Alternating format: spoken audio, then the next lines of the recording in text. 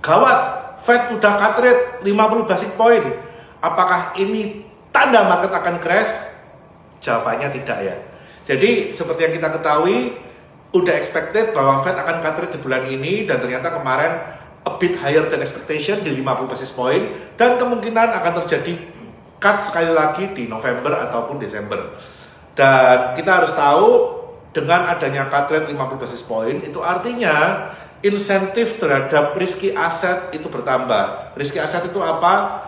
Equity market di emerging country seperti Indonesia. Jadi buat kalian yang berharap kalau kali ini dengan cut rate akan diikuti oleh resesi atau market crash, sorry bro, this is not your time. Ini adalah waktu ISG untuk dapat story inflow. Jadi pastikan kamu punya barangnya. Kalau kamu udah mengikuti story saya dari 4 bulan sebelumnya, pasti kamu udah floating big bang kurang lebih 15 sampai 20%. Oke, bijak berinvestasi bersama Beran 88.